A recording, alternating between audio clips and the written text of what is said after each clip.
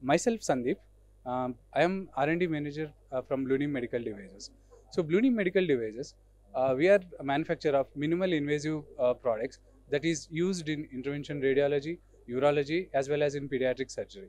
So, coming to our products, we make products uh, including needles, guide wires, sheets, catheters for drainage, and biopsy devices. So, Blueneem started in the year uh, 2010. Policy behind starting companies like country of 1.4 billion is like importing 75% of the products. So uh, 1.4 billion people can't be this helpless of importing medical service. So this is the prime agenda of uh, starting Blueneem Medical Devices and we are uh, doing uh, most of the products to make self uh, India self-sufficient to manufacture these products. Products that includes uh, needles, guide wires, uh, introducer sheets is the prime focus now. So we'll be doing more of these products to reduce imports from other countries. We have catheters ranging from 5 French to 30 French. The 5 French centesis catheter can be used for centesis drainage.